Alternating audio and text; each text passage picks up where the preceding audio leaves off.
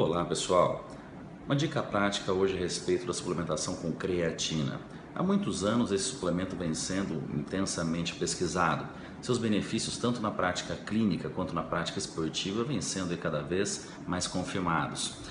Bom, um grande detalhe é que eu observo que as pessoas acabam suplementando creatina de uma maneira errada. Primeiro de tudo, o efeito da creatina é crônico e não é agudo, ou seja, você necessita atingir um determinado nível de saturação celular. O uso, então, deve ser realizado todos os dias e não apenas nos dias da prática de exercício físico. Outro detalhe, muito mais interessante utilizar a creatina após o exercício do que antes do exercício, como eu vejo muitas, muitas vezes as pessoas fazendo. Outra questão, não existe essa, essa regra de se utilizar três meses de creatina e descansar um mês.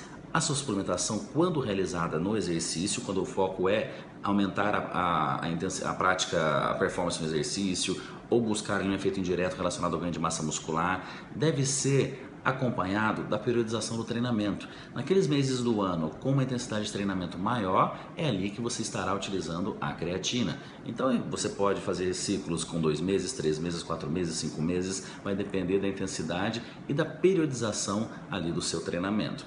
Eu ressaltei a questão esportiva porque a utilização de creatina também com relação à prática clínica tem sido muito ali bem documentada, desde uso no diabetes tipo 2, desde uso também na melhor idade para idosos, visando ali a redução da perda de massa muscular, o que acaba sendo comum com a idade, principalmente ali, quando, a, atividade, quando a realização de atividade física acaba sendo diminuída. Portanto, pessoal, não adianta nós temos o conhecimento de que um suplemento é benéfico se nós não sabemos como utilizá-lo e para quem utilizá-lo.